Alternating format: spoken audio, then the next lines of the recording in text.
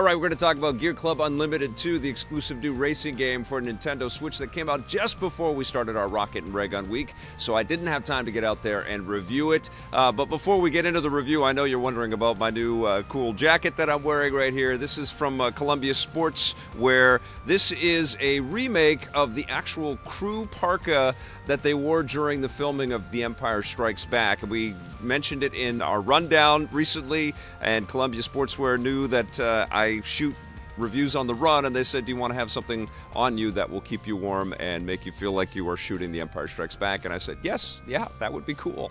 And so they sent it to me. It's a little overkill for December in uh, Vancouver, but still, this is keeping me nice and toasty, and I like this connection to the best Star Wars movie, which is very cool. All right, now back to Gear Club Unlimited 2. Uh, this is a racing game uh, sequel to a game that didn't really impress me all that much when I reviewed the first Gear Club game. I have to say that there have been some pretty noticeable improvements, particularly in the frame rate and the handling of the vehicles. This is a traditional kind of simulation based racing game but it's very accessible. It's very arcadey. You can bump and bash the cars. You've got a rewind function that will take you back 30 seconds if you spin out or just feel like you're not hitting that uh, you know persistent racing line that's there for you. You've got over 50 cars to unlock, all based on licensed models. You know, BMWs in there, Lotuses in there, Porsches in there, Nissan, all kinds of cars that you're going to dig. You start off with a Mini Cooper, uh, and you kind of learn the ropes of this game. And the reason why it's called Gear Club is because all of the cars are kind of locked behind these these gates of uh, different ratings. Basically, you got the A rating cars and the B rating cars and the C and D, and you get the idea. You have to earn the money from the races that you've got during single player mode to unlock these cars and purchase them and you purchase them from specific letter graded dealerships, which uh, once you get them and have appropriately tuned them, you are then eligible to enter the uh, appropriate uh, races. So you've got A level races and B level races and, C, and, so on and so on.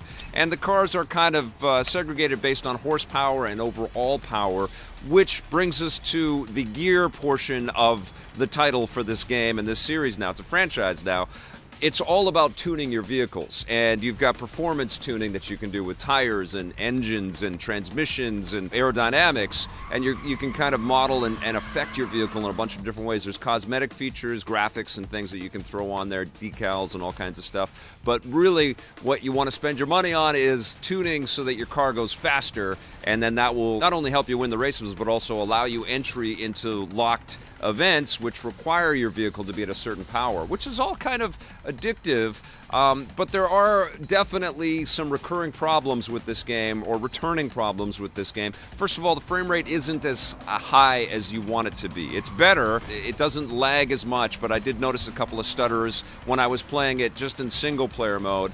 Um, it also has a tremendously long load time in between every sequence. Whether you're going into the shops, you're going to be waiting for that to kind of load up for you, and certainly in between races or when you're finding uh, a position on the map to go to, and then you go, I want to go into that race, you have a long loading time there. And there's even these tremendously long loading times as you're going from station to station within your uh, your tuning shop, which is kind of crazy. And I do like what they've done there. They've physicalized it. It's not like just a menu that you go to. You actually see your car on each of these different stations and you can pick up your car and put it onto a different station. You can pick up each of the station, whether it's the, the wind tunnel or the, uh, you know, the uh, engine tuning station or the graphic station or whatever. You can position them where you want to in your shop. You can augment cosmetically the shop the way that you want to. You can spend money that way if you want so you get this cosmetic look. Uh, you've even got little mechanics and stuff walking around, some weird looking character models there, by the way. I, I, checked the calendar and it is 2018, so the, the and almost 2019. So the people that they have in this game,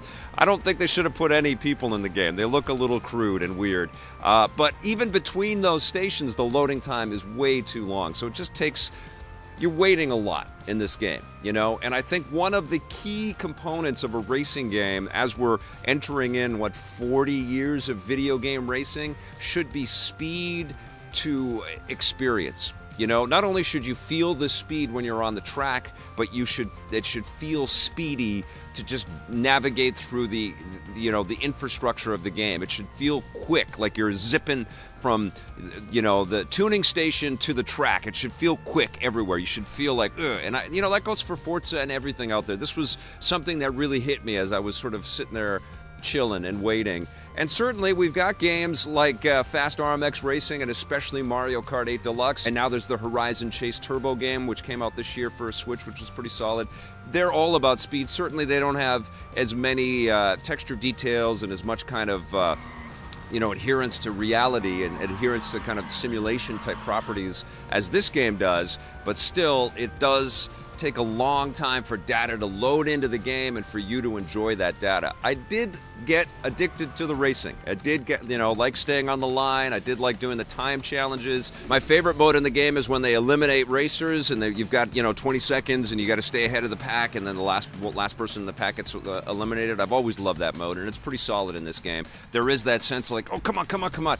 But, you know, once you start to level up and get all of your stuff together, it does feel like you can kind of blow past a lot of the competition in single player. And unfortunately, the game doesn't have a multiplayer on, at least of, at the time of me reviewing this, it doesn't have a multiplayer, uh, you know, online component, which is kind of inexcusable to release a racing game without that. You want that online mode. And you know, at the end of the day, this is an all right racing experience, and I think that you can see, you know, there, there's some pedigree to Eden Games. They've worked on uh, test drive games in the past, and they're really positioning this as the Forza for Switch. But if you compare a game like this to Forza Horizon 4 or the Forza Motorsport games, this is not anywhere near that level of competition. It feels dated, it feels janky. It's a good kind of game to point to to say, well, you know what? Maybe it is a, a, good time for Nintendo to think about releasing a Nintendo Switch Pro. Maybe racing games like this and games that need a lot more kind of, uh, you know, closer to photoreal fidelity need a little more horsepower than Nintendo Switch currently is capable of. And I can see the argument for that. Uh, but yeah, this doesn't stand as the best racing experiences out there, and I think there are more fun racing games that you can get for Nintendo Switch. But of course, they're not Sims like this. I, I, still, I, I, I like that they are taking another kick at it, and I like that they've come out so quickly with a sequel that does improve on performance. Um, and I, it's hard to refute that the racing, once you get past the load times and, and some of the concessions that you make for the the, uh, the fidelity of the game and the and the production qualities of the game, it's still pretty solid, pretty fun. But I say, you know, even if this is an attractive game for you, if this does look like a cool experience, I say wait a little while because it's probably going to go on sale in the new year. And unless you're like a super diehard, I want a Nintendo racing game that kind of feels a little more realistic, and you got to get it this holiday season. I say wait because it's probably going to go down in price it's not fantastic. And we've been playing racing games for so long, and there are so many great ones that we can point to that this one just isn't in that pack. I'm going to give Gear Club Unlimited 2 a 6 out of 10.